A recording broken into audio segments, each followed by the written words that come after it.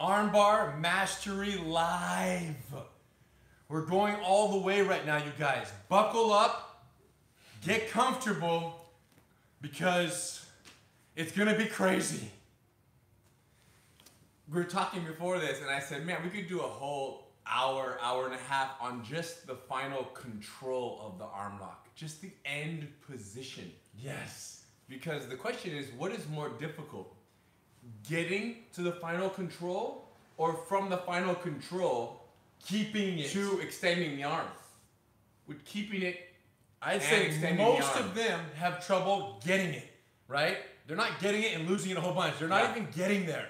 So we're gonna address both today, and we have some options, right? But rather than going too deep on any one aspect of this, our goal is to take you on a journey. Let's start basic, but then let's rapidly escalate to where you can see the complexities. And the reason why super seminars like this, where we go very deep on one subject all the way through, are very powerful, is because when you practice in normal, kind of conventional Brazilian Jiu-Jitsu setting of a group class of, you know, an hour, we typically allocate in one hour, you allocate four slices of practice because you have to factor in practice time, which means they have to drill the technique, you know, five, 10 minutes, and they gotta show the next move five minutes, then drill the next one 10 minutes. So in one hour, you get 15 minute cycles times four, which means four techniques can be taught. And that's very limiting. So right now, we don't have a clock because we're the ones who can stay here as long until this battery runs out, until we feel like cutting. And there's nobody to drill while we're teaching, so we can kind of punch through much more in a super seminar format here than we would be able to do in a regular group class format where the clock is sometimes the biggest challenge. So let's start very basic. He don't mount on me. We have to assume that some of you guys joining us have really never done it's just basic spin, and then we'll get into the control when you land there. That's just the basic. So Hidon's mounted, the most conventional arm lock in history, and then we'll go into different variations and this all the details and every all the layers. It's so robust, you guys.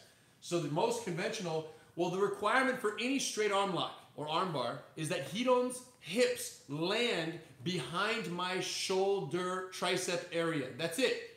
So the most basic arm locks are the ones where the person gives that opportunity by reaching for you. The most advanced arm locks are the ones that they don't give that opportunity and you have to create it. And then the next layer be- beyond that is when you create it not just by force and leverage, but you create it by deception, where you do one thing to create a reaction and then you catch something else. And then the final final layer in all of this, and really which is one of the most important layers, is the control once you get there, because getting there is only one piece of the puzzle, it's only half. Keeping it and finishing is the other half, and we hope to have time to explore all the layers with you guys today with your permission. Thumbs up? thumbs up. Let's do this.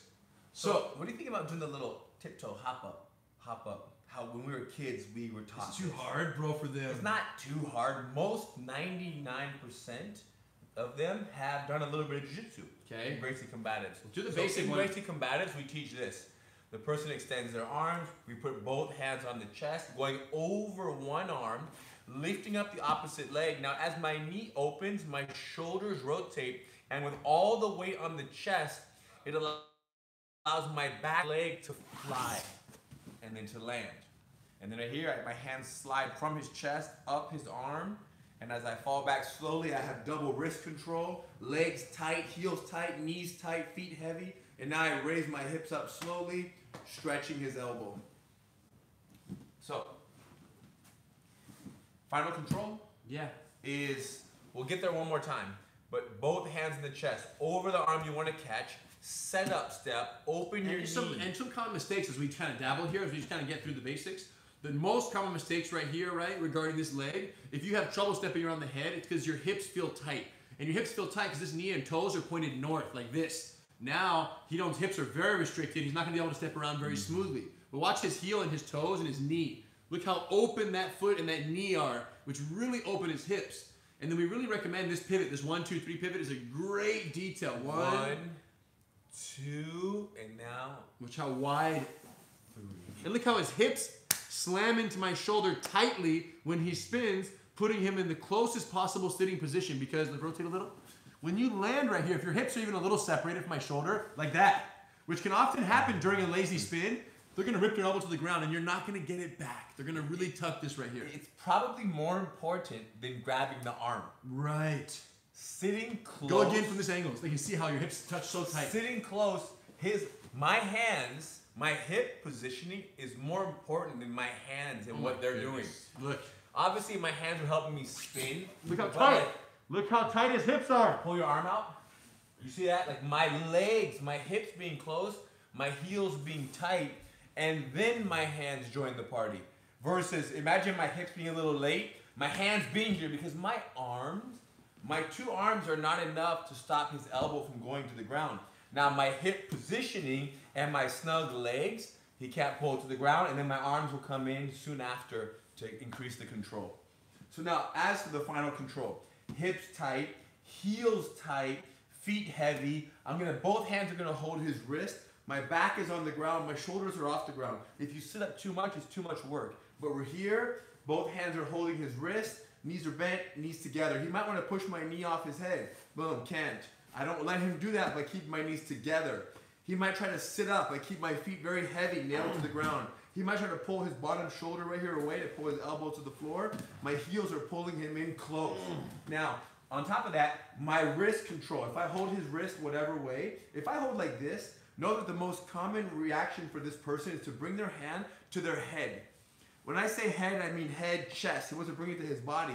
But relax, bringing it just straight in the middle is not as common because it just, relax, I just pulled it from there. So he's gonna try to run a different path, and that path is to his head.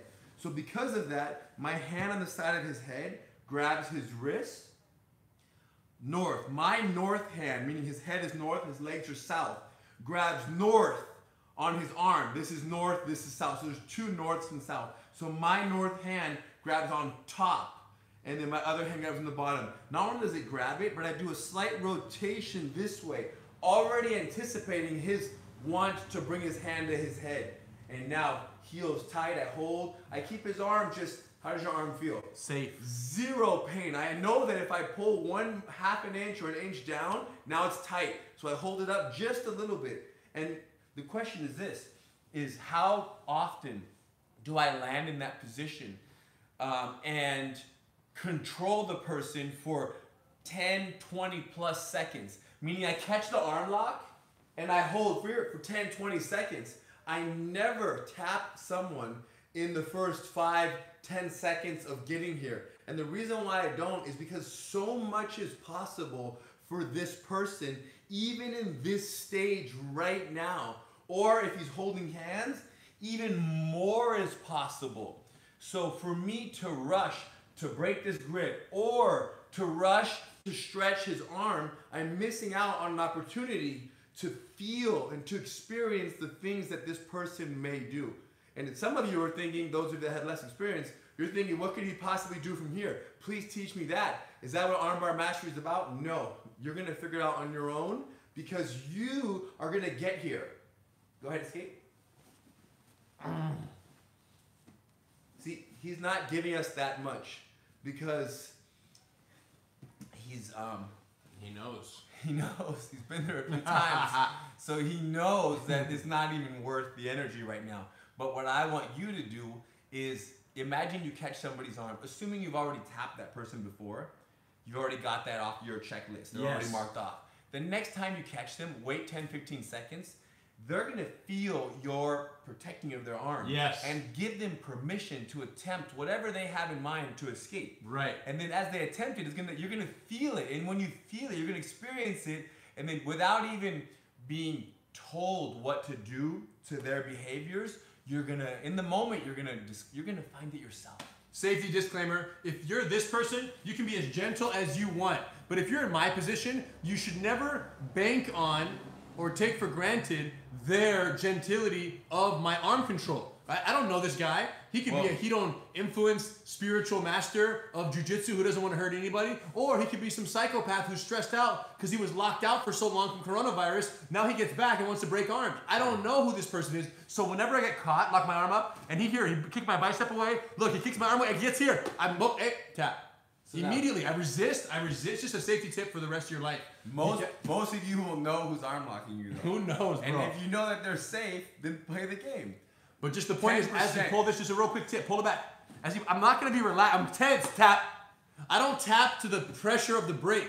I tap to the creation of the compromised position You tap to the loss of the control. of the safety The and safety. protection. As soon as I, my protection is compromised, I tap because I know that one hip thrust could break my arm, and I don't trust this guy with my life. And when we talk about self-defense, defend yourself from the accidental arm break that happens because you didn't tap soon enough or you trusted they were going to hold it for 15 seconds. So take that one from both sides. Excellent. So this is the basic arm lock and some basic control principles from the mount. It's very important to give this a full mindset for today. Let's just explore other positions of the equally basic variations so they can see how they're all essentially the same. Want to get in my guard? Look, so from in the guard, which is the upside down mount. Look, Hidon's hands are anywhere near my. The more exposed they are, and uh, The more the more extended the arms are, the bigger the gift. got it. We have a question from the crowd right now that we want to address because it's pretty serious. What do you think about that? People believe sometimes that they're too old and that they're too out of shape Well- and they can't do jujitsu. Well, yeah, right? and here's what or someone. they wish they would have started much earlier. Because if you start when you're nine, maybe it would have kept you from growing old and from get growing uh, gaining weight. Yes, true. But someone feels, or someone's saying right now and posting the question that they were told they were too fat to oh, start. it says I was told. Yes, is it? Yes. They were told they were too fat, or did he feel he was too fat? Either way, it's the same thing. If you told it, then, Told or feel? and you wrote it, you believe it. I'm too old. He's saying. I'm too old and too fat to do jujitsu. Well, you're wrong, sir. There is somebody older and there's somebody fatter. Bro, there's a lot older and a lot fatter, and they're loving every single day they go to class, and they are miserable because of coronavirus right now, and they can't go to class. But that's another mindset they need to work on. Now, He would like to have discovered jiu-jitsu earlier. Yeah. He thinks that if he would have discovered it earlier, he would have been able to do it. You're wrong, sir. Hold on, hold on, hold on, hold on. If you would have discovered it earlier, when you're 11 years old, You're right, sir. But here's 13, it might have made a difference. Doesn't mean that discovering it now doesn't mean you, you can still get started even now. What age is too old? There isn't. The rest of you that are viewing, what age? Type in the age that is too old to start jujitsu. yes. Is it 57? Is it 64? Or everyone just start putting their ages in the comments. Everyone put their age in the comment right now because Yeah, I don't think that there's an age that's too old to start. Listen, the, the guy who thinks he's too old, or woman who thinks they're too old or too fat to start, needs to see some weight limits and some ages. Put your weight and your age. And if you're really big, Listen. put your weight really big so that this guy sees it. All right, let's get back to work. Let's go to the guard. So here's the upside down mount. The hands are on the chest and face area. Here's what's crazy. The same way when Hito was mounted on me, mount on me, please. Look, and the hands are up on his throat. The higher my hands are, look at this. Lower, lower, lower, lower, lower, harder. The higher my hands are, the more accessible my shoulder and armpit are for his hips to get in here. The lower they are, the harder it is to get in there. This is true for the guard as well. That's why we say elbows tucked in is a way of defending arm bars. That's why we say keep your friends close, keep your elbows closer. Keep your enemies close, keep your elbows closer. Keep your friends close, keep your enemies, Enemies closer, closer. keep your elbows the closest. Even closer than any enemy, especially if they're the one grappling with you. I love that. It's got to be a t-shirt. It So- so now Hidon's in my guard. He Hidon's mounted. Let's go my guard, please. So when he's in my guard, look at keep your elbows tight. Look, there's no arm lock. It's gonna be very difficult to compromise his arm. But as they creep up, go creep up, creep up. I just posted a Gracie challenge video the other day uh, of some of the old school Gracie Academy challenge matches. Right, beautiful video. And in there, one of the final matches against our friend Mauricio Zingano, who passed away, great guy. So one of our good friends uh, was grappling this guy, or fighting this guy, and the guy at the very end reached for my neck, very determined, and leaned over like this. And Mauricio instantly switched, boom, and he got his hips around perfectly. Right here, heels tight, he slid to the wrist, everything tight and break. So it was the classic straight arm lock from the guard from Gracie Combatives. Basics, you guys. Lesson number 19. So once again, the hands are up on the chest or throat. Look what we're gonna do. We're gonna come under. You can grab the arm with one. You can frame with the other. Foot on the hip. Create 90 degrees. That's the most important part. And the same 90 degrees. But look at this. This is the key right here. Hip to shoulder, you guys. That same hip to shoulder we got from the mount, we're getting it. And that's only accomplishable by turning 90 degrees. And you can turn 90 degrees by using your foot and pivot and bite, that's 90. Or you can use 90 degrees by going under someone's leg, framing their neck, and now using my hand to really help facilitate that angle, or a combination of the two, where I grab the leg, do this, use my foot, kick off, and turn, and then step over. In all cases, we need 90 degrees, hip to shoulder, tight. Pull your arm out. Can't, it's so tight. You see or go back. Or sometimes you put your foot on my hip, grab my arm again, how you did, foot on the hip, freeze, go back a little bit. Let's say that he's think he's too fat, too much weight. I use my knee right here, and I can even move you. Now freeze. I can also say right there. I can also move your leg up high and move my head a little bit. Now step around. There you go. So even big boy with the belly, you can still practice if you You have a know what it partner who wants to help. It's I want you to land in the position, Right. in the final position. Feel and it. I'm gonna help you 40%. And then after a week, I'm gonna help you 30%, and then 20%, and then 10%, because I need your body to understand where it has to go. And that is the beauty of having, like you just mentioned, a partner that wants to help you. Dude, here's the beauty of you guys. Like, you know, when you learn how to surf, oh, I'm too big, I'm too old, I'm too fat to learn how to surf. You might be right. Because there's some variables here that you can't control. The ocean, the waves, uh, you may not be able to stabilize on moving thing, and there's no way. Okay, so there may be possible that it's not possible for you. However, jujitsu is the wave that everyone can surf. I don't even know if that's true about surfing. Hold on, bro. It's a good analogy, though, and you just ruined it. No, no, no, no, I'm saving you because you're about to go too deep. I know, but I had to use something to compare. Got it, okay. Evandro, it was pretty deep. Let's be honest, bro. I didn't. I'm not. I'm not trying to sell surfing right now. I'm trying to sell jujitsu. Go ahead, though. Come on, bro. It's a good one. Go ahead and tell them why they. It was pretty dope. No, you're right. Everyone can surf. You get a nice coach, a huge board. All kinds go of to Waikiki. all around the world. Go to Waikiki with the smallest little boomer. You're gonna find your way. You get a good coach. You're gonna make it happen. Here's the deal, though.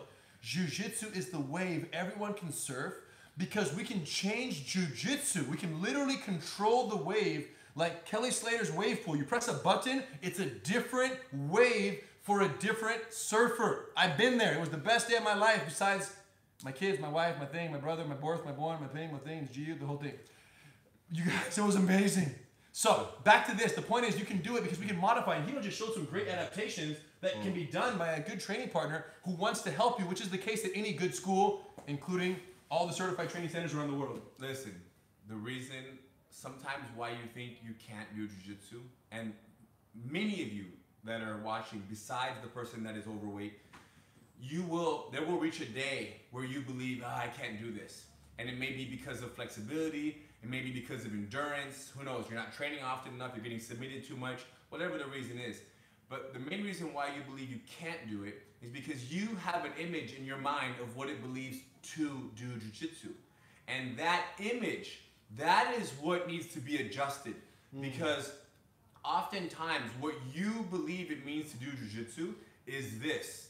Now, the reason why Andrew Gracie was able to do jujitsu into his 90s is because what he believed it meant to do jujitsu, it was so minimal. It was so minimal. Like you, But it was also so maximum in a different way. It was just so different than what someone else might point is, it was not so It was- elaborate. yeah, it's true. And it was not so explosive and not so physically demanding. Yes. It was very basic. Yeah, it was the it was the most it was the bare minimum There it that you can do to stay safe. So because he understood that and he he tapped into that and, and not only that, but he's somebody who when he says, Hey, if you do this for 30 seconds or for three minutes, that is you doing jujitsu. Somebody else who's 23 years old might look at that and say that's not jujitsu because they're That's true. confused because they think that jujitsu is only the most extreme, most There you go. athletic displays of the art. So again, sometimes just shifting what you believe it means to do jujitsu is all you need to be able to do jujitsu. Let's shift it. Here we go. So from the guard one more time. We need 90 degrees. How do we achieve that? Legs, hips, angles, however it happened. We just got to get that 90 and get this bite. The same bite we had on the ground. We need elevated. It's a little more challenging now because I'm fighting against gravity versus having him on his back. He's still in a strong kneeling dynamic position. But here's a great detail to minimize that. The Hito's power is tripled if he can post his back foot on the ground and do this. Because now he's able to go over my neck, go over Hito, and compromise my neck and stack me up, which would make the whole thing crumble potentially. So when we land right here, one amazing detail from the wrist control, even if you have your ankles crossed, always making sure that the, the neck side, the north leg, is underneath the crossing leg. But here's the key, crossed or not. What I want to do is take both my legs and I'm going to empty the water by doing this. Mm-hmm. Now post your back foot. He mm-hmm. can't. But if I do this, he can lean a little bit up, freeze. So I'm gonna take. I envision like a glass of water, and I'm pouring it out in the in the water in the, in the grass over here. I'm gonna empty the water. Now start driving up a little, put a little, look at that. Mm-hmm. It's completely empty, he can't. And that buys just enough time for the hyperextension of the elbow. So the same way there are systems of control mechanisms when Hidon is laying down and I'm out here and he has my arm locked up from the mount, the same way there's different control concerns there, there are equal concerns when they're in your guard. And this is addressing some of those. Now, something else that um, Fabricio Werdum just talked about maybe a month ago was that when you land right here, notice how most people, when they catch an arm lock, even right here, look at his body positioning. His head is off the ground. Now, let me get up again. So from here, minimal legs, medium legs. Yeah. If your head goes to the ground and now connect to the ground, go ahead. Yes, versus pick your head up.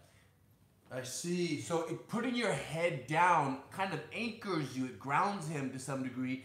He's connected. Yeah, uh, Totally It gives you different. A little more to push off of. So be aware of the, the reason why you curl your head is because there's an energy of wanting to see what you're working with. Yes. Which makes sense. Sometimes you do want to see, but sometimes forget about looking and prepare for what's coming next, which is that stack. So on top of, would you say dump the water? Empty the water. Empty the water, head Use down, this. Great detail. connected. Thank Fabricio for that one.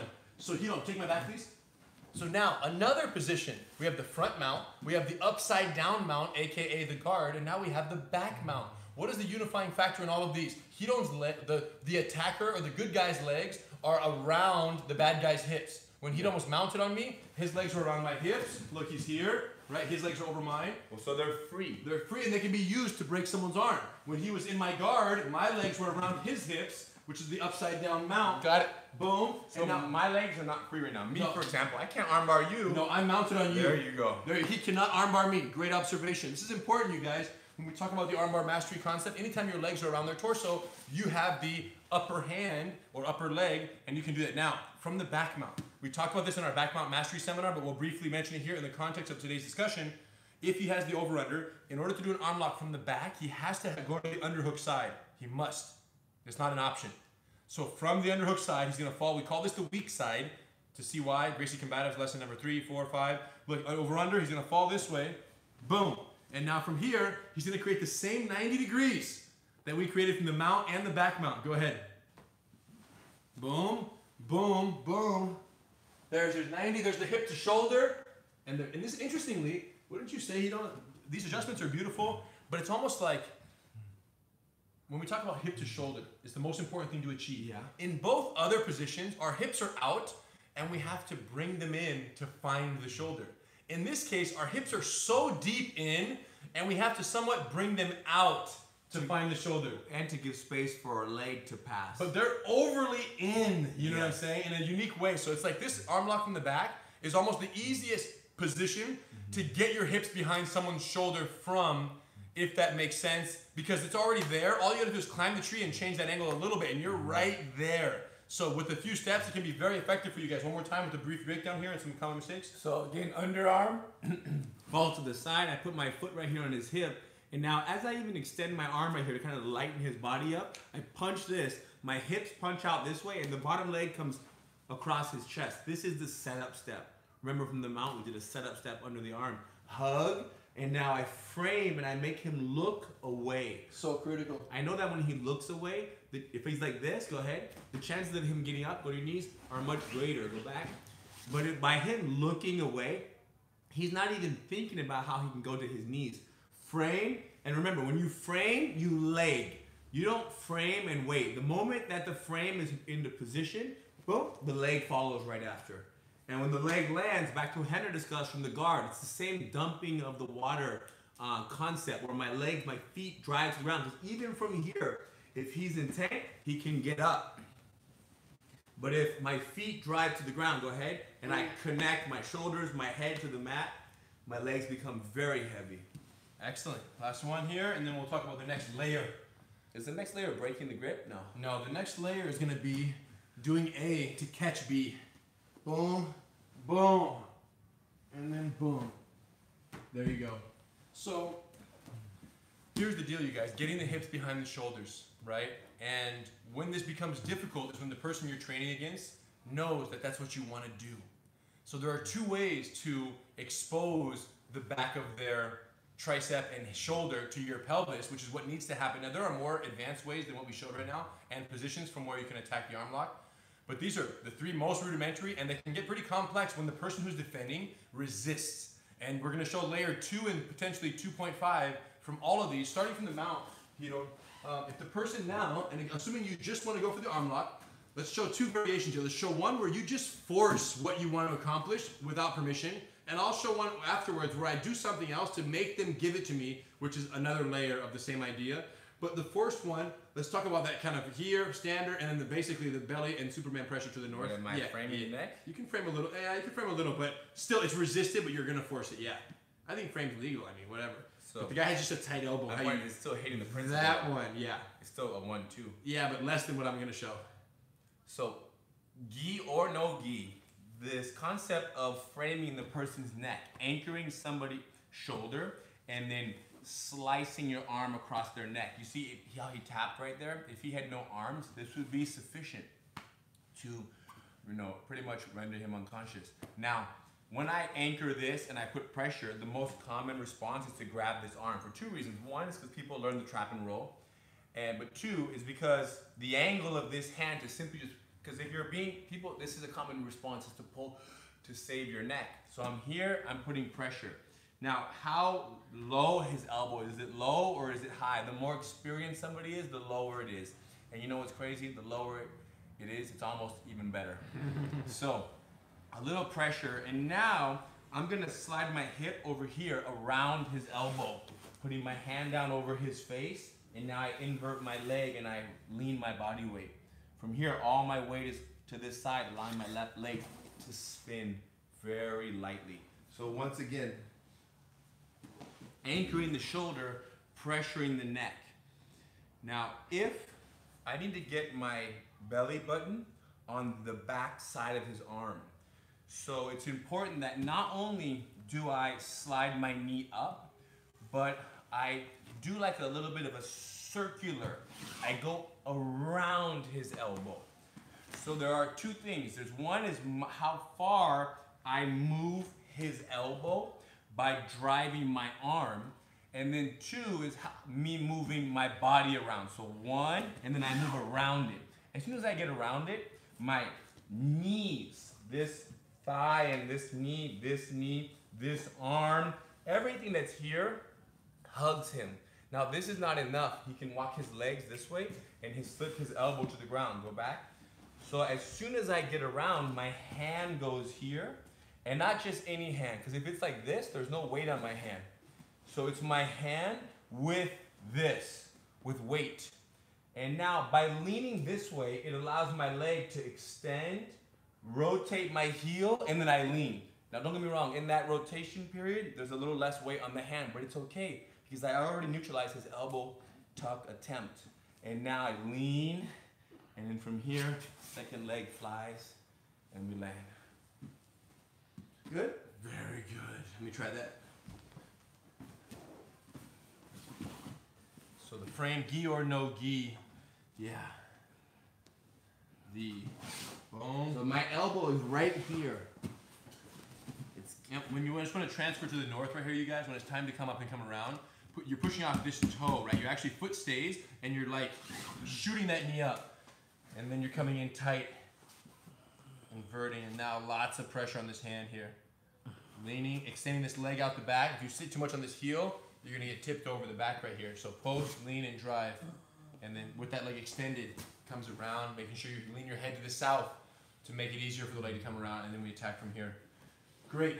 So that's one method, right? Is where you literally are just more forcing. That's one approach. Um, their elbow's tight. You want the elbow, so you go get it. Okay? It's gonna be harder. There's no doubt. Because when they're pushing this arm up and away, and they're leaving all kinds of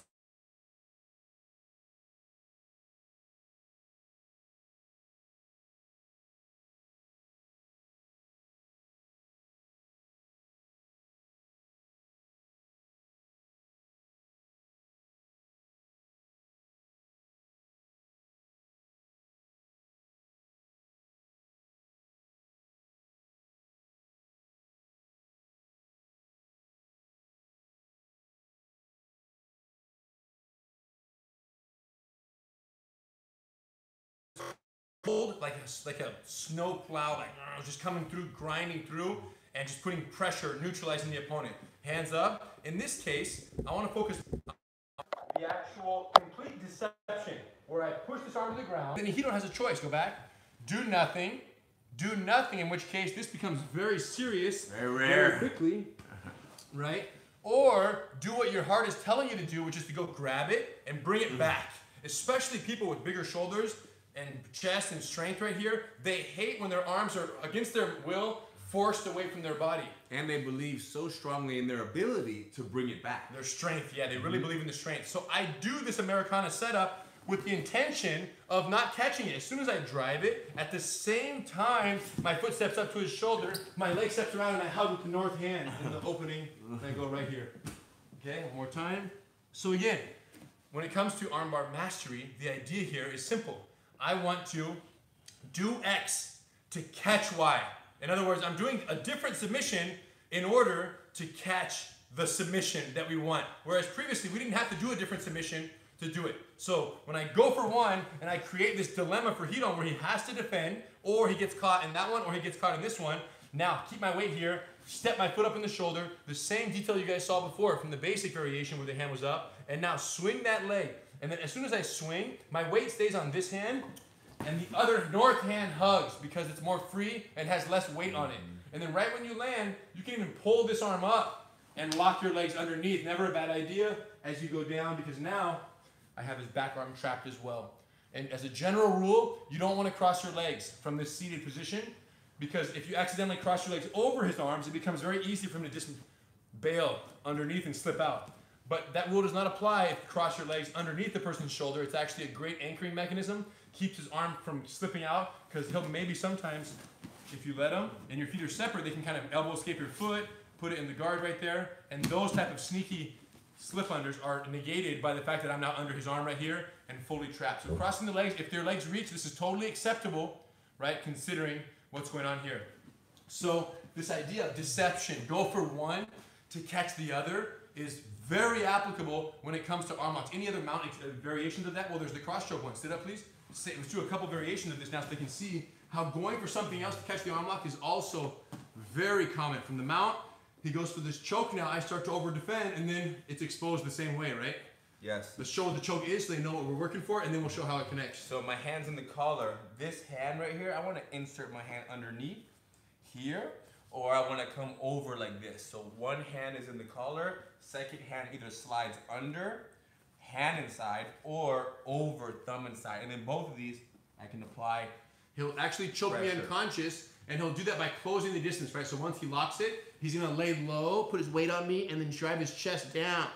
And then by pulling on both lapels, he's actually plugging both of my carotid arteries, and I'm rendered unconscious in a six to ten seconds, give or take.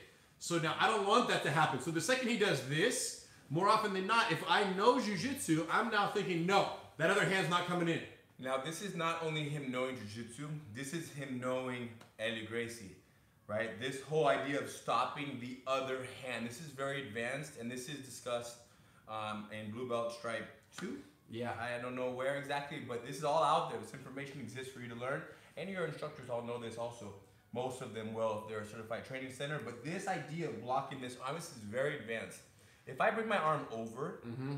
your other hand should grab it, and this elbow stays tucked in. Yes. The problem is sometimes I intentionally come underneath with an energy that engages this arm. Once this arm is engaged, once I come over, it should relax and the other hand should grab it.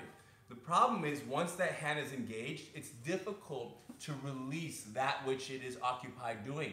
So I come under, Beautiful. and then I go over. So I trust. I know. I know that if if I just simply go from here and I have to go, release it. You can release it. But I know that if I push a little bit, I can then guide him out Yeah. into this My lizard- danger zone. Yeah, because once he goes under, I stiffen my arm. And then my lizard brain is like, no, you're not coming in. So then when he takes that lizard brain and he goes over, it stays rigid for a few seconds. The same way the lizard's tail keeps wiggling after it falls off, it's still a little bit wiggly. You know what I'm talking about? When you a lizard tail fall off, it keeps moving for a little while. That lizard's tail has a life still to it. You don't like that analogy? No, because you said lizard brain. but lizard brain means amygdala, like the hijack, right? We No, about that's not why the tail moves though. Whoa. Because of the amygdala. You understand? Or the lizard brain. It has nothing to do with that. Doesn't, don't get mad at my two lizard analogies in the same That's why sentence. they don't even connect. They don't need to. They're two. I could have said surfing and lizard in the same sentence. They don't have to connect. They just make sense. The lizard tail, my lizard tail right here, it's going. The second he comes over, I shouldn't follow it. The lizard tail shouldn't be wiggling, but it does. You come over, it's still going to be rigid. Boom, and then show them the setup step from there. So the setup step, as I go one, the moment my arm, my leg goes. Together. My my setup step happens with my leg. Now maybe 10% of the time, the arm won't be there, and I'll spin for nothing. Interesting. But most of the time, it is. you can draw the person out, no See, problem. the alternative is to go under, then come over, please, but don't do your step. So put the hand over, and then now that you see it's there, do your step down. Too late. They're going to defend. Too much time. Yeah, exactly. yes. It's important to recognize that. So it's almost like Ryron somewhat has to shoot blindly, hoping that the lizard brain will connect and follow, and he'll it'll be there when he needs it. You Well, know. the question is, how many seconds will the arm be in this very exposed place? Before I recognize Yeah. that it shouldn't be there. Very Yes. few, you guys. Very few. Remember, friends close, enemies closest, enemies close, elbows closer. Submissions, it, it's all about whether or not he tucks his elbow in or I catch it. It has to do with the, does he recognize the danger his arm is in before I do? In this case, no, because I'm putting his arm into that position. So I have that advantage that I'm forcing him there. So I go under, boom, boom, here. And then my leg's in a position to Do it again. Very nice. And you guys, listen, what's crazy is that this is the same as the basic standard arm lock combatives, lesson number whatever, hands over, foot up, and then with all the Look weight at the here. The only difference is instead of the weight being two hands on the sternum, it's one on the collar and one on the bicep, which means essentially look at the two arms right here. Two arms, one, two. Now let go. Put both your hands on my chest. It's the same. One, two. Go back. One, So- two. But except this time it's my arm instead of your arm and your arm. It's your arm and my arm. But as long as you have two pillars to pivot on, you're happy. You don't care whose arms they are. Now my fist is lower versus my hand here. A little more I, elevated. I am more elevated with my hand on your chest, which makes the lean of my head even that much more important. And the inversion of my leg. So I'm here, I come under. Huh?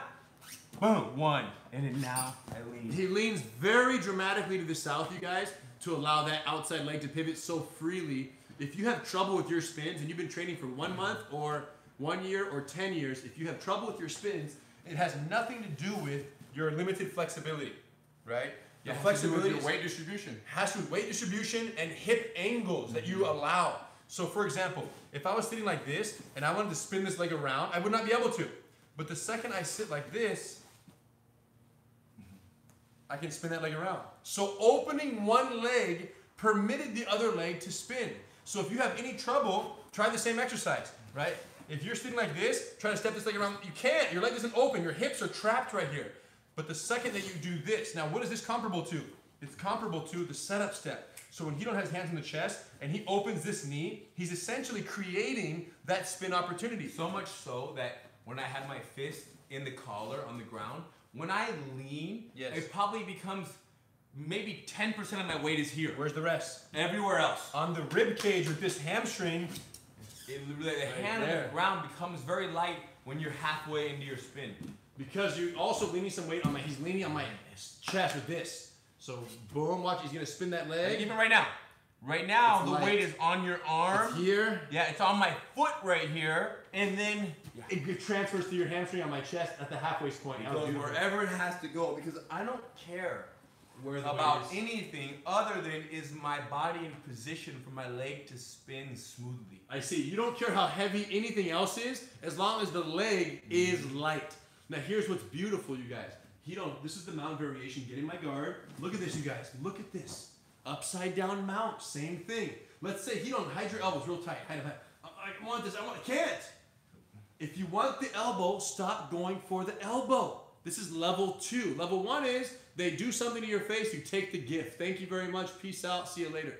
Level two is they know you. They want you want your hips behind the shoulder, so they defend against it. So check this out. When that happens, open up one collar, get a deep collar grip on a cross grip here with one hand. What does this look like, you guys? It looks like the upside down mount. I'm mounted on Ryron, and I have the same looks grip. like. That's what it is. It is the upside down mount.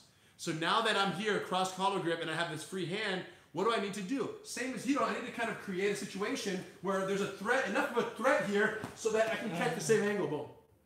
Okay? So I need him to overcommit on the defense of the second choking hand. I go under, he blocks. I come over, he blocks. I try to go under, he blocks. He go. Then I finally go, and now he stiff arms this because he's worried about let go. He's worried about this. Closeness is his enemy.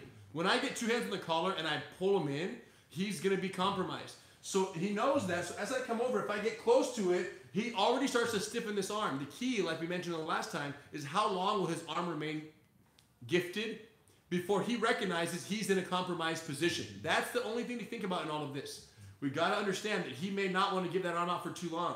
So you almost have to go for this with the objective of, right, like already creating it just to be able to catch it.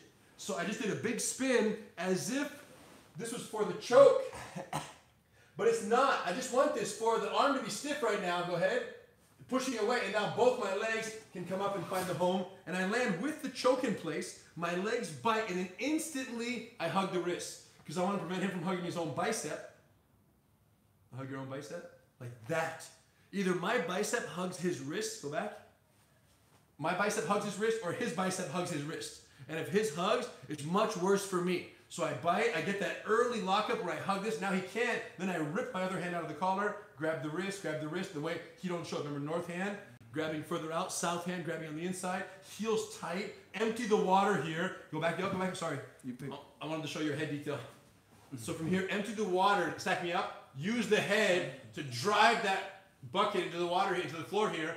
Emptying the water, keep this tight, heels tight, cross if you need to. Pressure. If they fall, fall over, boom, right away. His shoulder is too far away. So if ever they fall from the guard, mm. keep it tight. Use your heels. Do a sit up and push the hand, and then jump your hips right in, and then relay down everything tight, the same way we talked about. Wrist turning to the south, mm-hmm. heels tight, knees tight, hips tight. Excellent. Okay, so mm-hmm. once again, from the guard, if they mm-hmm. gift it, thank them. If they're strangling you, thank them. If they're grabbing your hair or your face, best thing possible because they're gifting it. We went very quick. Go ahead. If they're not gifting it, it's time for you to start probing other submission, other threats, so that they go, man, these other things are happening right here. I got to deal with these, and if I don't, I'm gonna get choked, or Americana arm locked, or cross choked, right? So you have to create that dilemma where if they don't respect the setup threat, they will get submitted by the setup threat. But when they do respect it, they get submitted by the follow-up threat, which in this case for today's discussion is the armbar from one angle or another. So we kind of we kind of merged. We kind of skipped an important phase. For example, if they do want to become very proficient at arm locks, how long does it take? Just fast spins, loose hips, months, Yes. months, four months, six months, just arm lock. Basic when someone's giving you the arm lock. Even somebody trying to strangle you, pinning you down, Yes. pushing up on your chest, it takes time. Six months, let's just say, a lot of arm bars. And then we're saying now, if they're not giving you the arm, probe it by attacking the neck, for example. Yes. Those two examples. The thing is this, you, you can't just go from not really ever doing cross chokes to saying, okay, you know, I'm a year and a half into sparring, I'm gonna start probing the neck. It's almost like you have to now stop arm locks and for six months, eight months, 12 months, just do cross chokes. Because what's gonna happen is there's a, there, it's almost like people, you're gonna gain a reputation and there's gonna be a respect that is given to you that when you put a hand on the collar, it means something. Now, it doesn't mean that I, for example, if I roll with somebody in another country, I put a hand on their collar, they don't need to have been choked by me four or five times to respect that hand Yeah. because they simply give me that respect because of my experience. I don't know. I think they give the choke the respect and know that you are a valid choker. Oh, I agree that they well, they You know give I mean? The respect. well they give the choke is respectful and Presumably, me they mean- combined. Yeah, me it's combined. true. It's true. It's 50-50. The thing is that there are people, for example, that put a hand in someone's collar, And you don't even. and the person on top is like, they just break the grip, No they just posture a little Yes, bit. yes. They don't quite treat it the same. They don't block the second the bicep, Right. And they don't pause their guard. They continue to plow through the guard pass. Right. So that might be happening to you. You you might be trying to do cross chokes right now, but people are not pausing their past or what their They're not respecting. They're not fearful of it at all because it's not They're not addressing the second hand. The setup has to be real. Well, the setup, but also your conviction and your different ways. Not only the setup, but your ability to finish. Yeah. Like when you put both hands in someone's collar and you turn your wrist, what kind of things might they do when you're when you're choking them? They might posture away for guard, for example. So your ability to keep a good grip, to stay close, your the endurance that you have in your grip itself. So these things that have to happen over time. And then once you do that, then you almost reintroduce the combination of choke threat to arm lock finish. And because it's put it this way, is the choke threat is it even fake? No, it's not. In both cases of They're mount real. and guard. They're- All of them are real. So now the reason why I can come under and and do the over and sit up step from the mount at the same time is because I already gathered information that that person is a little overly rigid and fearful of being choked. So I take that and I do two steps at once. Yes. But if they didn't, let's say their They arms were a little hesitant, Choked. I would not even think armbar. I would crush right through. Yes. And because they know that I'm capable of that, they become overly rigid to prevent that choke, giving the arm. So what we are discuss today, the choke, the choke has many roles. It's very Yeah. much dynamic.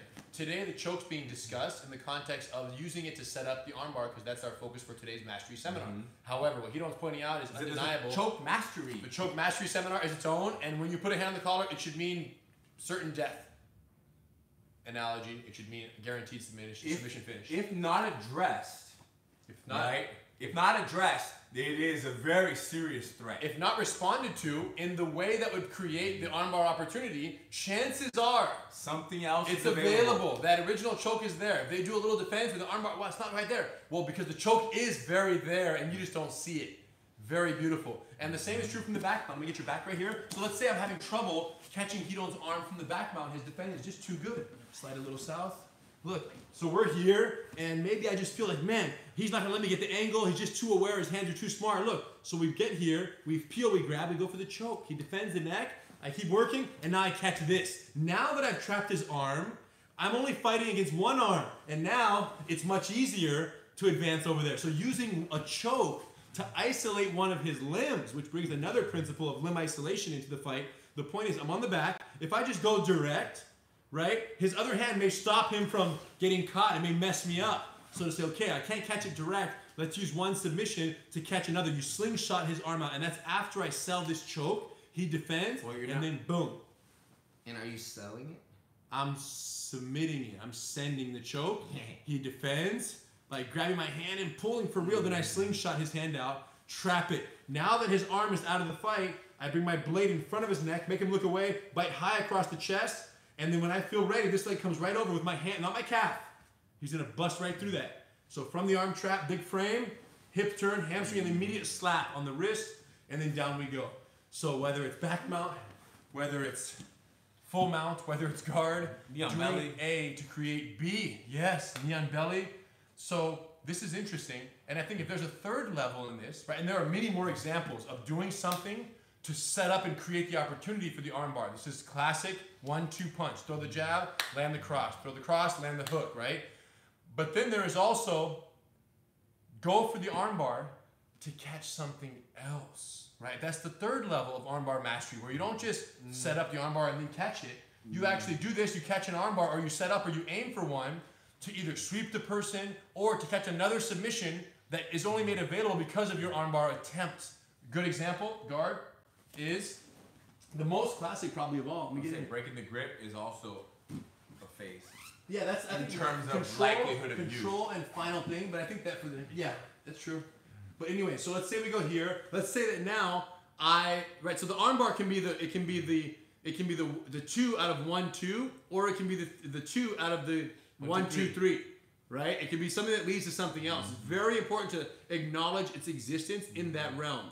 Right? Let's say, for example, I'm here, I sell the choke, I go for this, I turn, I catch it, I hug. But he stacks me up a little bit and rips his arm right out. Boom, right away, right here. Okay? And now we're here setting up the triangle. Keep it close, roll the leg over, and we got it.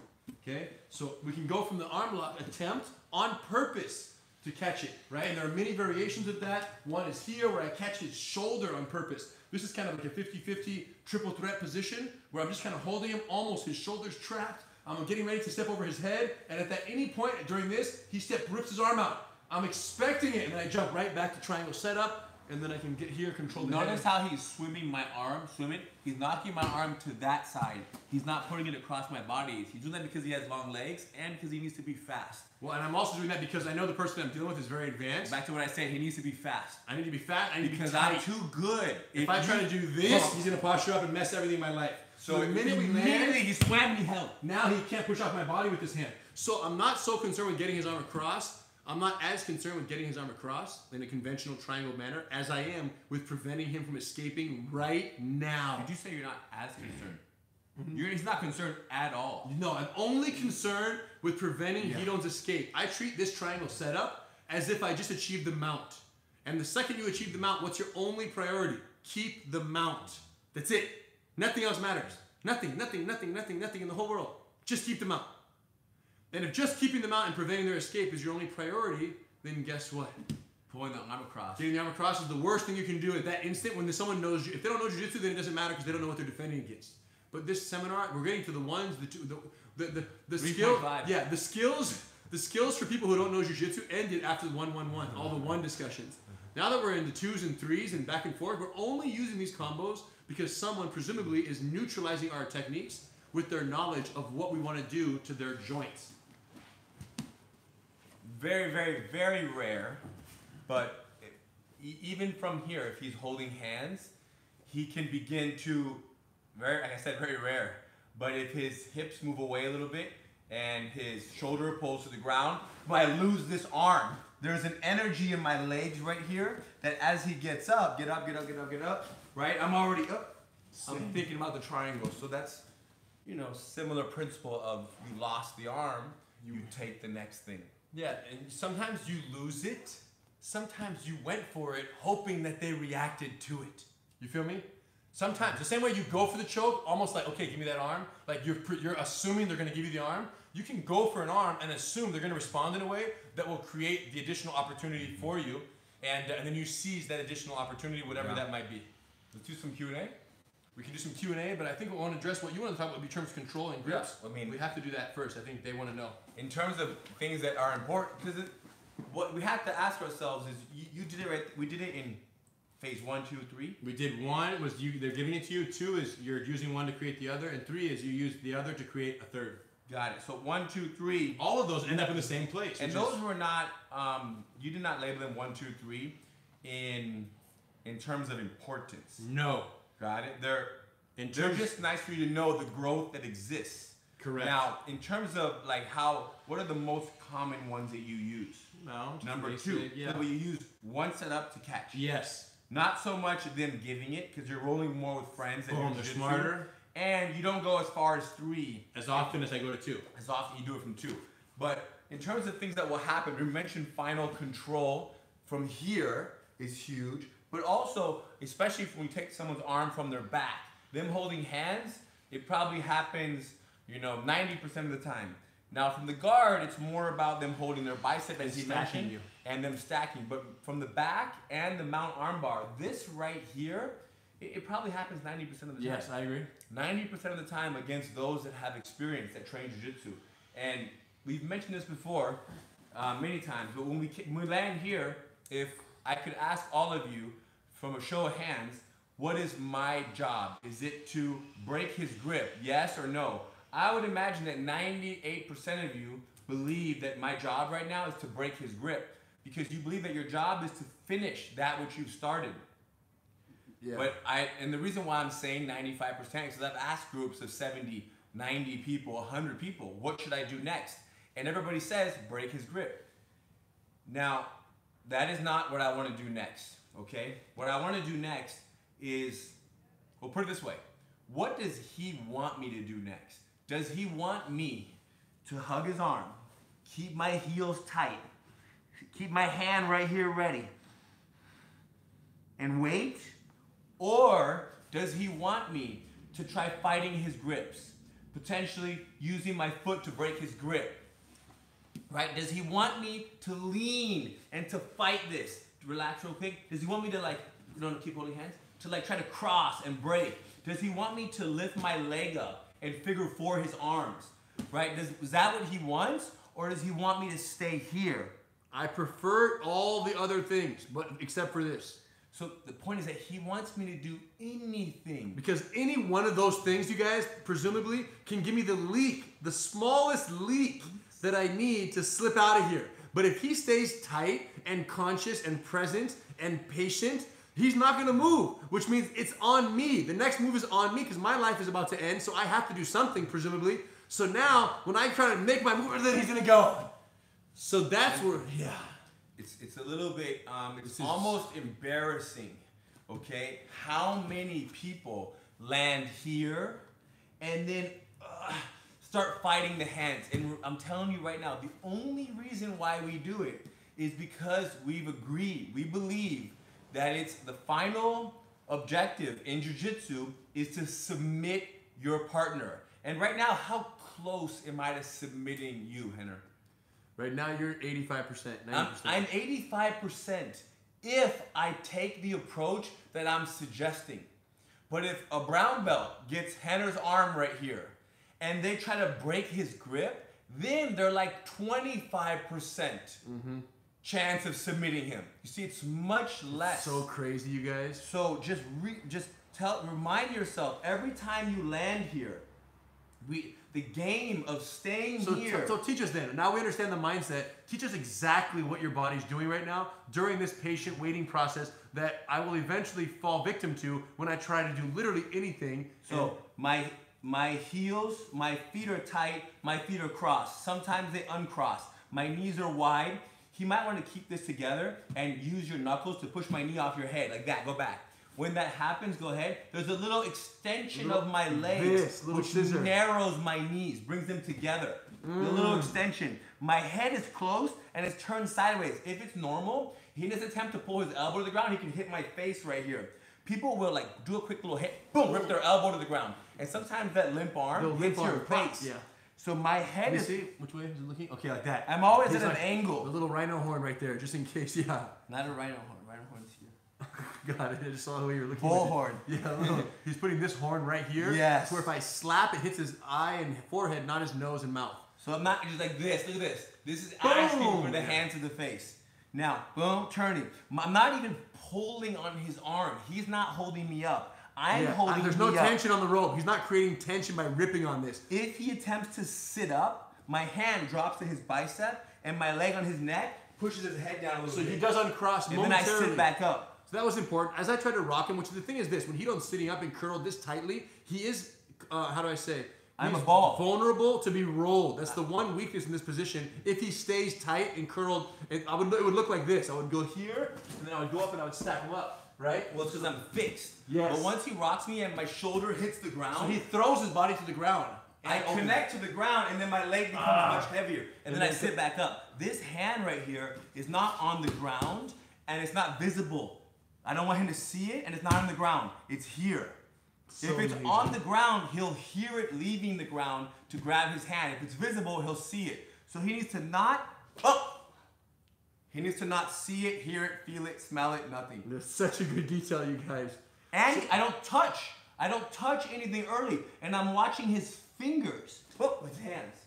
Because I know that if there's no tension on his hands, I know that he's n- he knows he's in danger. But after 10, 20 seconds, you forget. And then you want to try something. You know, then wait, hold on. You said it real quick. Stay here. He said something very. When he, if, I know there's no tension on my hands, think about that for a second. it's the first time ever you've ever landed here and somebody wasn't pulling. See, right now there's tension, about 20, about 60%, 40%. And the more he pulls, the tighter my grip gets. So the opposite is also true. The less he pulls, the more I go, wow, if there is no one on the other end of this rope right here, maybe I can let go real quickly and accomplish something. Now, what that thing is, who knows? Push the knee, sit up. But my point is, I don't feel a threat because there isn't a pull on this arm, which means I'm 10 times more likely to start to do something because what's the alternative, you guys? Just stay here? And you know, if that's the case, if they just wait as patiently as you, what Well- happens? Well, that's what you should do. That's what I would do. I would stay. I would not move. And then when you don't move, the top person now takes the bait and they say, well, he's not moving, I'm gonna break the grip. Mm-hmm. So wherever we are, we become the the waiter, the watcher. Now, finally, when we're now we're focusing on us though. When this grip breaks, break the grip, push my knee, freeze. My hand doesn't lead. What leads is my body. So with my feet, heels on the ground, how they are, or like this, but my body does the beginning. Oh my gosh. Just grab your hand again. Can't. Try, reach. He might get near, but then my other hand comes in. It's very natural to hold hands again. That when the grip breaks, go ahead, freeze. We do this, but now he mm. re-grabs. So I need to take the arm out of range so he cannot reconnect because, and I do that not with the arm. I do that with the body. So the hands let go, but my body, and now my hand comes in for the end. So good. Okay. Now we can move on. Q and A. Very, very good situation. Let me show one since you got are show one. So he's down right here. So yes, start throwing in some questions. Yes, we're gonna do like maybe four to five minutes Q and A, but we're wrapping up here, and then we'll get into that, and then we'll be done. We have a Gracie giveaway, another Lion Gi. You get someone might enter to win. So I'm sitting here. Um, one very common question we get is this is there. If you take the opposite approach than what Hito's recommending, which is not a good idea, and you decide I'm gonna break this grip and have to get it down. There are many grip breaks, wrist locks, finger grabs, throat grabs, vibrating legs, hammer fist to the belly, many options to make person let go and then you catch the arm, right? One of the more problematic grips when they grab their own bicep, grab your bicep, like that. This is one of the most difficult because there's not a finger or a wrist lock to be locked right here and it's kind of hidden underneath this arm. Sometimes this leg is, his hand is exposed. Sometimes they try to hide it under your hamstring, which is the most difficult for sure. Mm-hmm. Ryron is in a very, I would say he's only 10 or 20% in danger right now. 80% chance he's getting out of this situation if he knows what he's doing. Okay, so this is very bad. So if you get land here and they grab their bicep, right away go inside again. Don't let this hand go inside. No matter what, scooping this hand, keeping it elevated right here. And then once you feel that you've stabilized momentarily, he's not trying to get out, but he's trying to hide his hand. Go scoop it. Go ahead, cut it, inside. Take out your other hand, lift it up, push it away. Put your head inside, hug the elbow. They're not going to tap. They're going to try to get you off their elbow. And then you switch back and catch this one. One of my favorites here. So once again, he's hugging his bicep. He's trying to get inside. Go inside, Hito. Go inside. Don't let him. Right away, start going and scooping the fish right here. Like use this hand and just kind of cup the, the, the fish right here trying to go underwater. You're just holding it from going in. Don't let it. Keep it from going under. Take this hand out. Go two on one, double C clamps. Push this away from him. Now, he has no idea why you're pushing this arm away. Zero clue. The point is, when they go anchor on the bicep, that arm is compromisable. I can pick it up, I can go two on one, double C clamps, and literally extend my arms away. Once you extend, pay attention. Put your head in the north hole. Not here, here. And then from the head, diving in, hug at the tricep elbow area. And then I always hug a little high, and then I slide to where I know the elbow is. I can grab my collar or not, but the key is how I grab my own elbow right here to give me extra leverage. So one is hugging, one is reaffirming that hug, and now the pressure that I would put right here is gonna be hugging this to my chest very assertively, not while laying back. You're gonna lose the arm. It's a hug and it's a curl in. I'm like doing a crunch and I'm bringing this elbow to my chest. He will not tap. More often than not, they're going to extend, trying to do this and free their arm out of the equation, which is totally a viable defense. The problem is that viable defense exposes one for what I originally wanted, which was the straight arm lock from whatever position I set it up from. So look how beautiful. Maybe we went for a cross choke. He defends the cross choke. Go my bicep. Yeah. I spun. Boom. I spun. That was a one-two. Then he went to his bicep. Bicep. Boom. Now he starts to hide. So the two, I go for the three. Boom. And then from the three, he defends and I catch the two. And and there's there's no risk in you letting go of your original arm around my arm. Do you understand? I Like how see. many times? Because you see, he's he has this arm I'm of his hugging. hugging, and then he's using his hand right here to stop my hand from hiding. When he removes that arm, Technically, I have no control of his inside arm with my hand. Correct. Correct. Well, the thing is, because that hand is stopping st- this so well, so effectively, when your other hand, I'm just in shock that your hand is shadowing my hand. Yeah, he's focusing on this. It's almost like you don't even know that my phantom arm isn't there. and I don't know because I, I really want what I want, which is bicep and leg. And this is very common. People have done, people have do this for years and years and years. So when you stop that, it's a very new. They've never experienced that. So when oh. you go two on one and then you lift it up, but they still don't even realize No that this arm is not being controlled by his arm. And even if they do, they can't even do much about it because his heels are tight, his hips are tight. It's a, Yeah. there's nowhere to go. It's like I'm literally like just stuck in a barrel, like a fish in a barrel. And again, I'm not showing this for any other reason to give a little example of how the one, the two, the three, the three can go to a four, or the four, three can go back to the two. That's what's so exciting about this, you guys. But it all starts with some core principles. I think at the top of the list is this understanding Ryron talked about. How when you get to the final arm lock position, it's not your responsibility to break their grip and break their arm. It's their responsibility to find a way out of the web that you've essentially trapped them in, right? That's well, it's not even their responsibility to find a way. out we hope that they think it is. Yes, We hope they assume the position. because we might be them. That's true. Once you're on the bottom, it's not your responsibility. Once you're on the bottom, it's that person's responsibility to break your arm. When you're on top, it's the other person's responsibility to boom. When he don't mount on me, when he don't mount on me, look, if I'm we're talking about me, today's my class. It's his responsibility to submit me. Do you understand? It's his responsibility to catch me. It's not my responsibility to get out. If he don't, if, if I roll him and I end up in his guard, look, whose, whose responsibility? Is it my responsibility to pass the guard? Well, if you're paying attention so far, the answer is no. Getting It's Ryron's responsibility to submit me or sweep me. I'm just here to neutralize his effectiveness. The minute you take the responsibility of having to pass the guard, escape the arm lock, escape the mount, or put the onus on yourself in any position, you've already lost because you've assumed that fixed responsibility. And if you fail to accomplish that, then you failed to meet your own expectation. And that's the beginning of losing because you lost to yourself. So, the safer position and the one that our grandfather assumed for how long? Right? Ever. Ever, which is why he trained till 90 plus years old, was the one, the most sustainable mindset in jujitsu is the one where you say, no, self defense. My job is not to defeat you, my job is to prevent your progress, your effectiveness. You see, so whether you're in the arm lock getting caught or catching the arm lock, that mindset applies in both roles. It just depends on where you are on any given day or with any given training partner. But I'll tell you right this right now. When you have two people who have that mindset, it makes for a very interesting equation because you end up in some positions where his responsibility, he's deferring to me, and I'm deferring to him. It's like, no. And it's a patience game, and then, okay, okay, okay, fine. I'm gonna make a move, not because I think it's the right thing to do, but because I just wanna fluff, right, shuffle the deck a little bit and keep things moving, and I'm gonna risk something right now that I probably shouldn't, and then you, and you hope for the best, and then oftentimes it ends up at the worst. Well, And it's also because we have both won. Yeah, true. It's, we, we accomplished victory by recognizing the right mindsets before we deviated from them. Yes. So every role, the only question is, is in any given role, if if somebody wants to take the responsibility of go, go, go, go, through, through, through, crush, crush, dominate, dominate, then let them have it. Mm. That's it.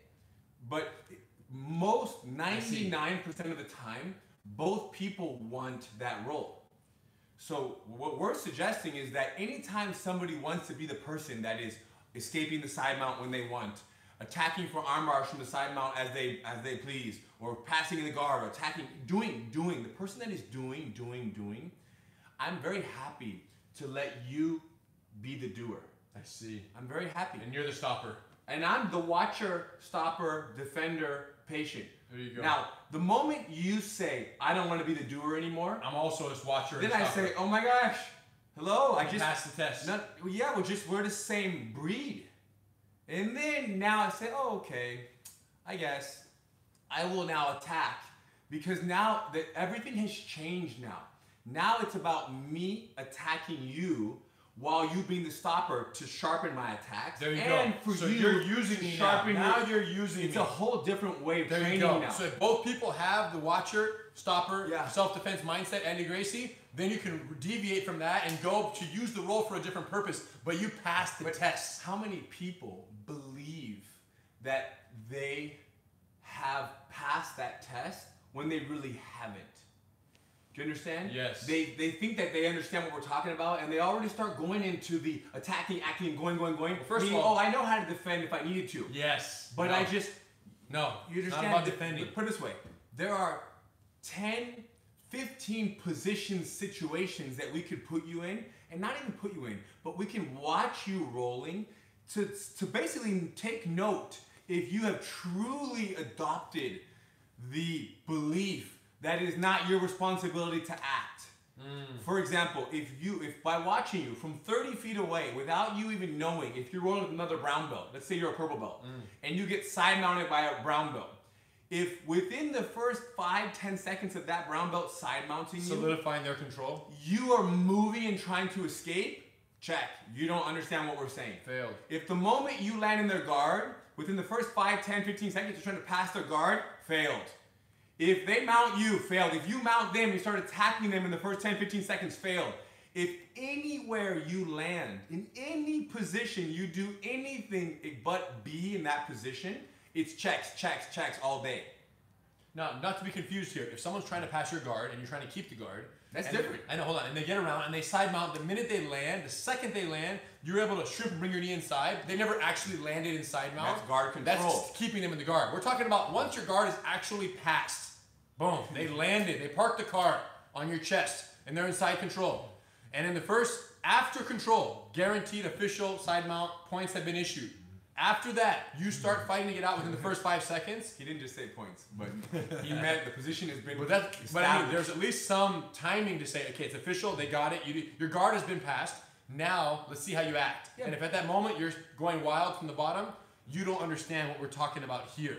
And listen, could you be very effective at the jujitsu that you're deploying? Of course you can. Yeah, and, and there's time for that. Yes. There is t- time for what you're Turn saying. it on and go, go, go. And what, what I'm saying, what we're saying is that that is the one that by default everybody's touching all the time. All the time. Yeah. Everybody's getting mounted or landing on the bottom of guard and going for attacks right away. And there's value in that. We believe you should do that.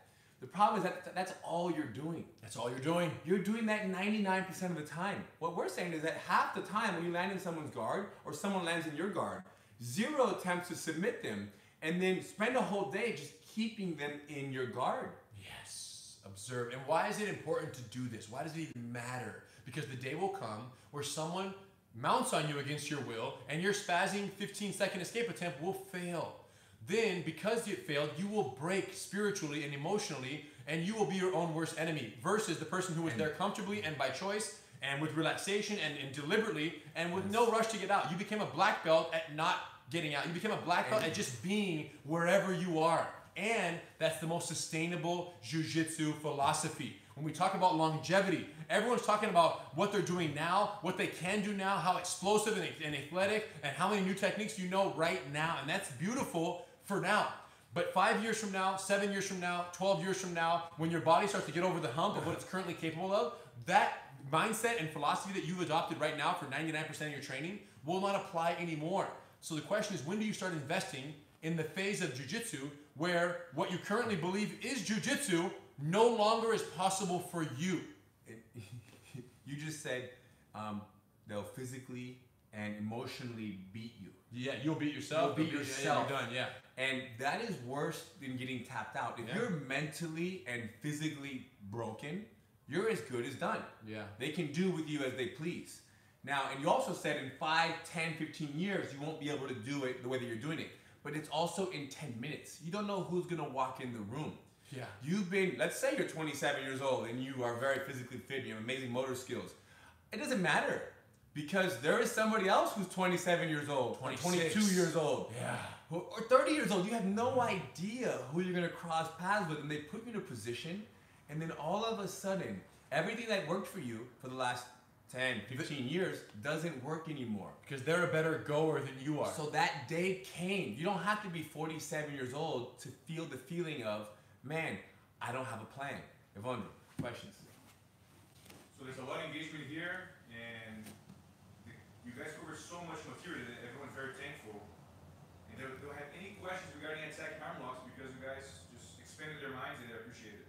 So there is a little bit of questions regarding arm locks on how to counter, how to defend, given that there's so many beautiful attacks being demonstrated from the guard and from the mouse. If you guys want to share something that so they can practice. So elbows being tucked in. yeah. The elbows. The close. question is, are there some defensive strategies we can share regarding surviving these? And listen, the best defense is a good offense.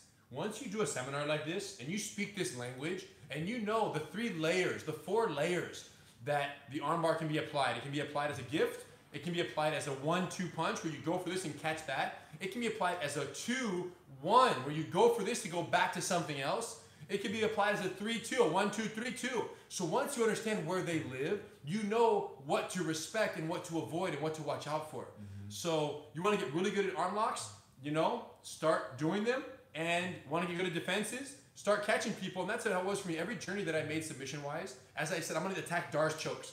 Guess where I learned my Darce, Darce choke defenses? For every single neck that I attacked, how they behaved went into a database. Even though I wasn't getting attacked, as I'm going down the Darce mastery pathway, I'm becoming a Darce defense master because the few successes that people were having against me, whenever they did, I would write that down and go, oh my gosh, he just defended it in the most beautiful way I've ever seen. And I didn't even do that before. I'm gonna start defending like that. So my students and my targets for my Darce chokes were teaching me how to defend Darce chokes.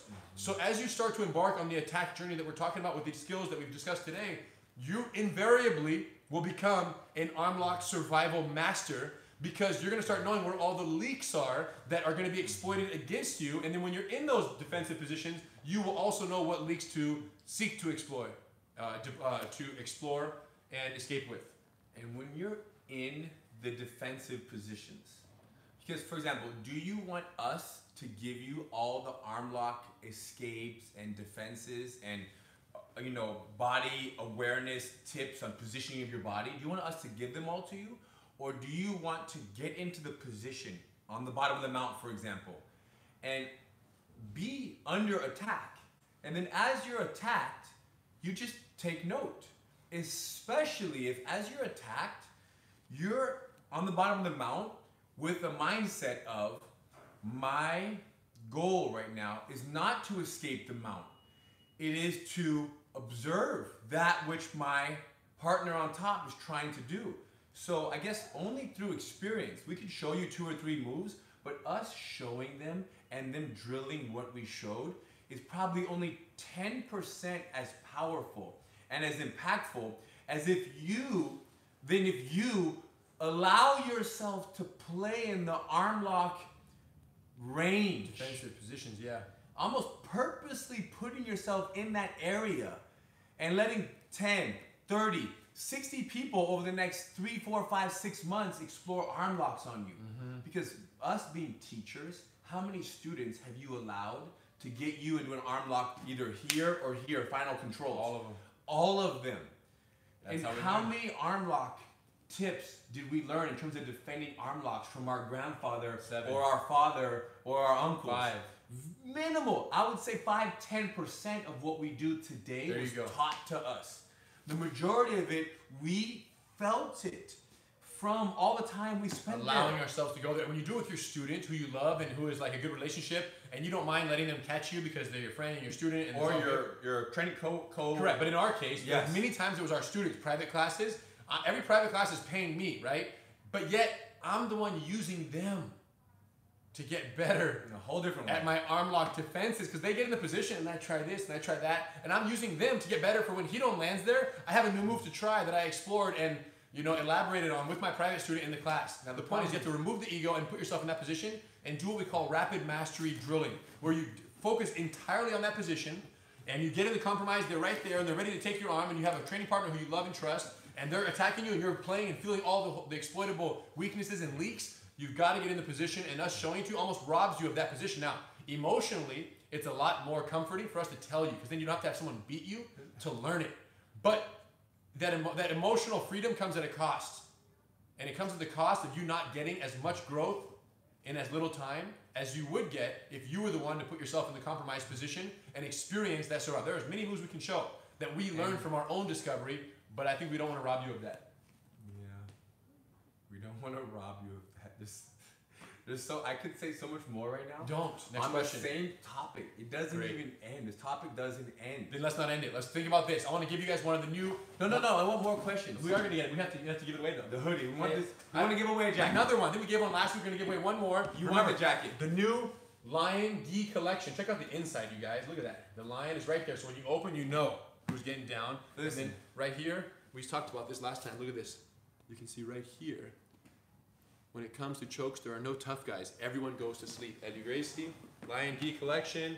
We're gonna hook you up with your Lion gi. Okay, let us know. I mean, And, how um, comfortable is that gi right there? I've never even worn it. I forgot I was wearing it. But this one right here is very comfortable. It's this, yeah, it's, it's very much the same. this, this is like, It's ridiculous. like, do you, people always write like, what's the most comfortable gi? Mine. no, but my question is, have you ever worn like an uncomfortable gi? Like, how often does that happen?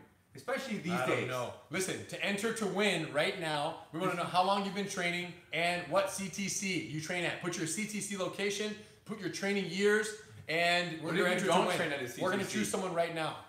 We're going to choose someone right now. Don't trade at CTC, You can- then you can write how much you appreciate us. You can just write how much you appreciate this amazing seminar. Um, but the gift is going to go to a CTC student somewhere in the world because we love and we appreciate all the CTCs for helping us spread jujitsu in a way that is very special. to Gracie University. Yeah. Gracie University family. Okay. And many of you don't train at CTCs, but they're still Amazing. they they have a Gracie Garage. That's right. They're still part of the Gracie University organization. People are learning on GracieUniversity.com, training at a school that isn't a certified training center. Yes. So the Gra- Gracie University family goes way beyond CTCs, but right now we're on the CTC list. And if more not- important, was there any other Q and A's that you can think no, of? but they need some more philosophy while I check this out. You guys entering name, training, and training years and CTC location. While Ryron gives you guys a little more deep philosophy. We appreciate you guys coming in Well, today. Back to defending arm exciting. locks. In terms of defending arm locks, there there are proper ways. Remember the whole one two go for a choke to get the arm. There are proper ways to both defend the choke and keep the arm safe. This whole one two of going for the neck to get an overreaction to isolate the arm, that's because you're defending the cross choke incorrectly. So this information is out there, and those of you that train at certified training centers that are learning on GracieUniversity.com, this information in terms of the proper hand positioning to defend your neck and not expose your neck is there. So, I, but I think when people ask for arm lock counters, you want deep end, deep, deep trouble. The very end of the arm lock, the grip is being broken, your arm is being extended. Those are usually the defenses that we want. Those are usually the situations that we want defenses for, which makes sense. It's the same as people in the world. They don't want to know how to eat healthy to avoid diabetes or lifestyle choices to avoid cancer and diabetes. They want to know once they have cancer, what are our options? What can we do? Right? So eh, we want to think, right? Our grandfather was always somebody, I would say, Grandpa, you know, what do I do to defend this submission? He would say, hit him. Stop. Take it back three, four, five steps. How did this even go wrong? What what was the tipping point? Right? Where did this begin to go wrong? Let's not talk about the very end when we're already, you know, 10 feet deep in the submission. No, where what was the decision that you made five, 10 seconds ago that resulted in you ending up where we are right now? So those are the type of things that you will become aware of when you do what? When you land in positions and you truly, truly behave in a way to where you don't have to do anything but watch and control and prevent progress and just have awareness. It's difficult to be, I guess, be um, in tune with how you got to where you got when you're fighting and you're resisting the position of the mount, for example. When you're saying, I should not be on the bottom of the mountain, I have to get out of here now, you have no idea how you landed up deep in the arm lock. But if when someone mounts you, you say, oh, okay, they're mounted on me. Let's see what they have in store for me. Let me just stay right here. You have so much awareness that when they force your arm out of its safety and then they take the arm, that experience that was taken, and then what happens? It happens again and then again. And 17 times later, you become very aware of the three, four ways that people are getting your arm out of that safe spot. And then before you know it, it doesn't happen anymore. And we have seen this. We've been training jiu-jitsu for so long that I have seen students of mine of three, four, five years get caught in something 20, 30, 40 times, and then I don't catch them anymore. So how can I catch someone in something 40, 50, 60 times? Let's say that they're a blue belt, mm-hmm. purple belt, and now I don't catch them anymore. It's only one way. It's because they brought a certain awareness to that position, to that discussion, to that battle. So you need to do that on your own without us telling you, without us putting you in the same position 30, 40, 50 times. You put yourself there. How many times have you ever rolled with somebody and guillotined them seven times? Yes. Easy, I- as easy I- every time as the time Correct. before. I've rolled with somebody and I've footlocked them five times, seven times. I've triangled them from the mount five times in one roll. What does that tell us? Triangles from the mount and side mount. They're not there. No, no, hold on, hold on, hold on. But what is that? There depends. they can very much be there and still be getting outsmarted. And the only way that we know is if we do it again four days later, nine days later. And when we do it again, some people, there's a feeling of like embarrassment. There's a feeling of, there's an anger, there's a resistance to that. But then to some, there's a, a laugh and a fascination with, man, how can it happen again and again? There's a little more of a, a little more of a, there, a little more light approach to that behavior, that treatment to them. And then when that treatment happens, that type of personality that says, this is unbelievable, uh, and they laugh at it, they're more likely to, on the ninth day, 14th day, what happens? They go from getting tapped three, four, five times to one or two times because they're not, they're not, um, their judgment and their understanding is not being clouded by the anger and the emotions. People actually, have you ever had somebody say, I don't understand how you're tapping me so much? Yeah, all the time. Which isn't it crazy how a blue, have they been blue belts before? Yes. How can brown. a how can a blue belt or a purple belt not understand how you tap them six times in the same submission? You're saying they should be able to. No, no. How can they not understand how it's possible? Right. Well, what would you expect anything less? I see. So when somebody who's so much more experienced taps you five, six, seven times, don't sit in this is unacceptable somebody beat me seven times. Right. Sit in, of course they beat me seven times. They've been training for 30 years. Of course you get triangled six times in a row. I don't understand how you, who's been training for three years, are confused that 30 years can't beat you seven times. Who do you think you are? You understand? Now, when you change that and you say, Of course he beat me seven times, let me see how he's doing it, and you fully accept it, oh my gosh, then all of a sudden, have you ever had a blue belt not get guillotined once in five minutes? Survive your guillotines.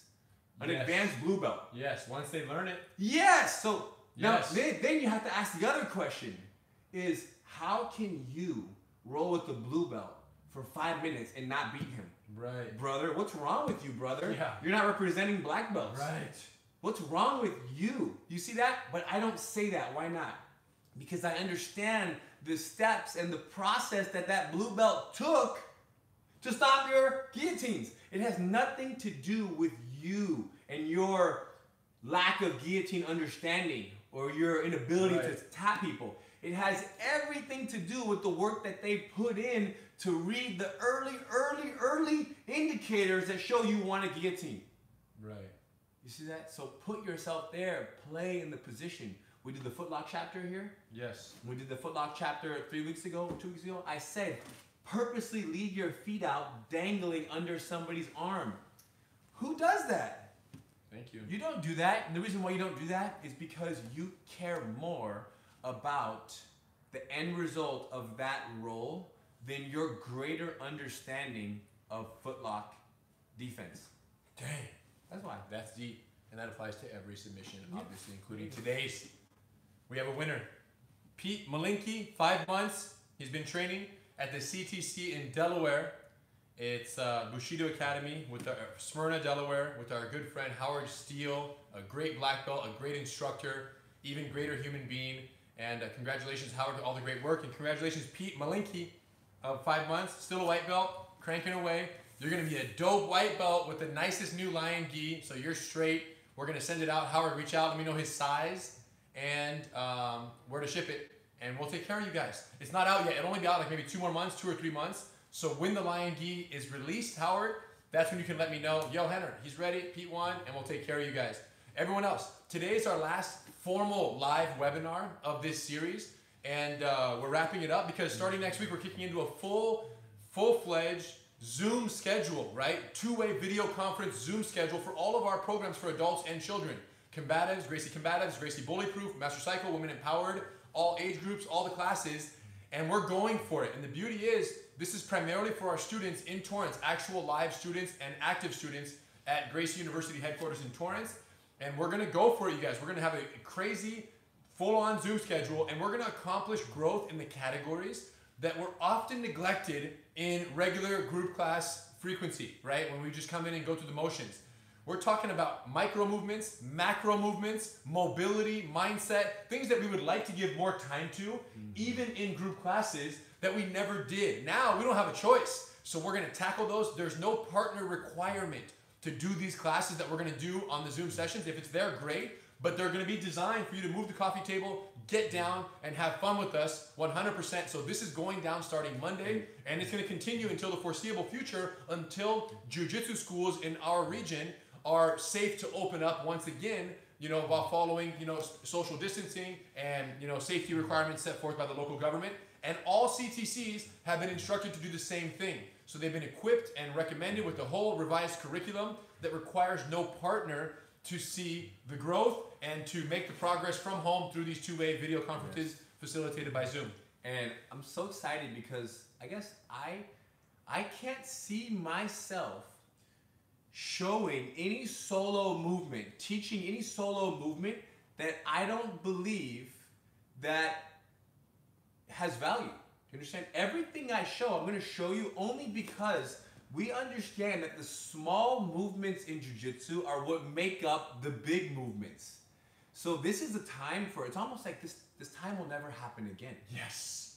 this time Yes, yeah. of discussing jujitsu from this perspective, these considerations, these small movements that we can practice, who knows? Things might go back to normal in two, three months, And then in no four months. no we have no idea. No one's doing solo, micro, macro mobility. They skip all this. We, we will do it like 10% of the time. Yes. So the depth at which we can dive in terms of what can be done by yourself, it will never go so deep as it goes right now. never go so deep and so, So- robust. And yeah. there is no doubt that some people don't have it in them, right? They're just like, oh, you know what? I can take five months of no jujitsu. right. And then some, they say to themselves, no. Well, man, I, they're also curious. I wonder what is possible in a group setting with Ryron being able to see me or the instructors being able to watch me. I wonder what is possible. And if growth is possible, I want to keep growing. So I don't know what's going to happen, but I know that some are curious, so that I'm excited for those some. There you go. And these are so legitimate, you guys, that when students do these Zoom sessions, these two-way Zoom sessions, they're going to get credit for the class that we do because mm. our programs are very curriculum driven, right? We know what we're going to teach every day of the week, every program, it's dialed in. So when someone comes and does Gracie Combatives lesson number four, we're going to get their Gracie Combatives card and we're going to check it off for them having done it on Zoom from a distance, two-way, because we're seeing them do it. And they're growing in that class in a way that we can't even and probably won't do when we're all partnered up with partners and doing it in a group setting. So it's actual class credit for our live students. Currently, we're only doing this for Torrance active students who are on the roster and active right now as we speak. We're very excited to deploy this, but those thousand plus students are the ones who are going to have access initially depending on how much demand there is, we may consider adding more classes to allow people who don't live and train in Torrance full time to join in on these two-way video conferences deployed from Gracie University headquarters. So if this sounds exciting to you, email Jackie at gracieuniversity.com and let her know. Say, hey, I want to get on the list. I want to get on the list for the Zoom lineup. I want to, if they open the door, I want to get in and we'll talk about how we can make that possible. There will be a fee for this, obviously, but it's gonna be legit. And if you're somewhere where you're jujitsu 100%, but you simply can't feel that fire either because you don't have a partner or because your instructor isn't offering this type of service, reach out, talk to Jackie, get on the list, and let's talk about getting you in. Give us some time, give us a few weeks, but it's very likely that we open up some possibility, at least for select people, and we're gonna start at the top of the list and then work our way down. So reach out. And we just announced this today. So if you get in now, you'll probably still make the list. Jackie at gracieuniversity.com. Jackie, J A C K I E. Correct. And she's going to take care of you, add you to the list. She'll re email you back. It's legit communication from this point out. Zoom sessions here, CTCs all over the world. Thank you guys for everything you guys have done up until now. Get cracking on those Zoom sessions. Your students are going to love them, and we can't wait to hear the feedback from all over the world. Thank you guys for joining us today. Hopefully, your arm bars went up like You know, if you're on this rung of the ladder, you got to this rung. If you're on this rung, you got to that rung. And if you're already black belt mastery, armbar master of the world, we can't wait to meet you. Thank you guys. We'll see you next time.